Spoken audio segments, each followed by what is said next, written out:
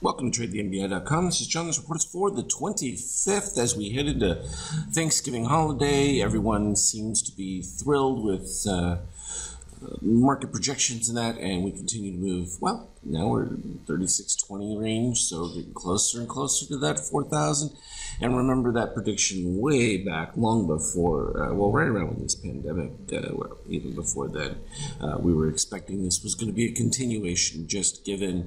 Um, the amount of spending and everything that was taking place and the proposed deficits, the market has to take that devaluation into account for the future, um, which for a lot of people throws off, you know, your price earnings ratios, all that stuff. But um, these periods happen in time, and you have to be aware of them when they're taking place so that you can understand uh, the motivation. Because so many people are on the wrong side of this, uh, expecting things to be uh, more muted or uh, even negative.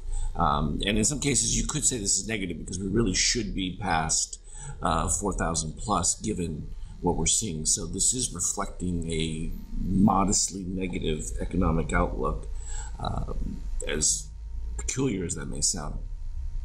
So we had a huge move the other day uh, as more states and everything are getting resolved. Uh, though I think today uh, some of them are talking about additional lawsuits coming through. So uh, that legal aspect of it is going to start to heat up. But uh, I think a lot of people are just saying they don't see any evidence. So uh, the market is pretty comfortable with where things are going virtual gridlock, and gridlock is always good for the market. Yes, the market loves that um, because no action means you're not doing anything detrimental to them, which means they can pretty much do what they want, and that's always good for business. Uh, so from an NQ standpoint, again, uh, catching up a little bit, but if you look at the comparison, uh, we're near the 100% on the S&P and just barely over the 76% on the NQ. So it gives you that uh, bit of a dynamic differential right there. Uh, we also have uh, steel popping up here. We got the green over red. All the right things are taking place, and we're starting a new cycle of the shakeout. What we were kind of looking for, and of course, Europe breaking up here into a new range. Uh, still hasn't reached the peak highs from before, but it should get there without much trouble, uh, given the uh, condition of the dollar and where it's headed for the most part. And this has led to a bit of suffering in gold. And, but the interesting aspect of that is you're seeing uh, buildup in crypto. Uh, so the cryptocurrencies are tending to get a little bit more flow uh, at this particular point, and I would expect them to continue to do so, uh, just given the dynamics of where the market is right now. People not wanting to get uh, too caught up in the uh, valuations of the market, um, particularly with some of the uncertainty that still remains. From an intraday standpoint, well, you know, we started. on that nice rise of cyan under red, that we went green.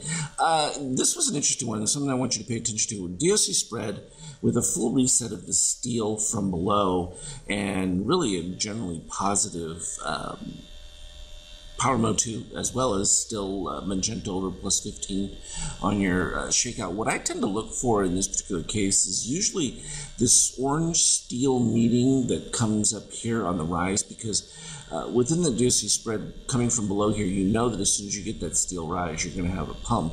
Um, and as soon as that starts to take place, obviously, if you've got positive extremes built into it, helps.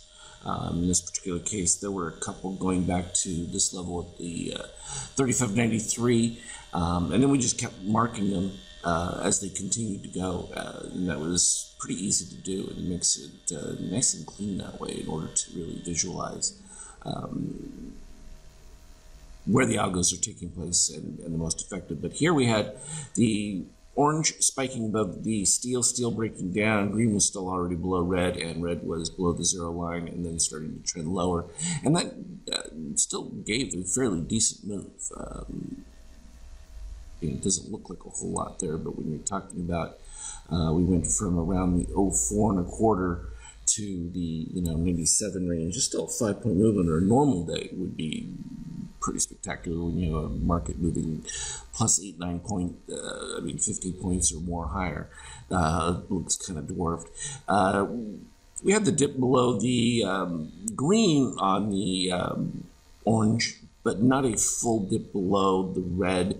Uh, that doesn't come until a little bit later here. At the same time, we moved cyan into red, which that was already a positive at that particular point. We had the crossover of the power mode 2 and the rising directional uh, that happened earlier. So when it popped again and did the same thing a second time, it was just a confirmation by the next bar. And right at the 3601 algo. And from there, boom, we just uh, accelerated, and it was just a matter of waiting for positive extreme, positive extreme. Now, of course, there's more in between there. I just kind of marked the key uh, big ones because some of these other ones that come in a little bit later, they get filled back in pretty quick. Uh, it doesn't become as relevant. And um, again, same situation with those uh, DOC spreads, Power Mo. Um, in this particular case, you already had the power mode. So here's a little bit of the difference that I'm talking about.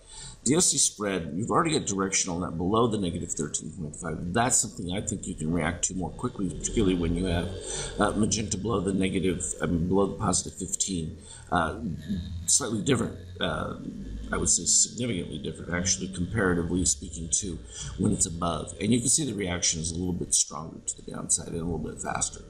Uh, so that just it, it, gives you an idea of the, the amplitude of strength.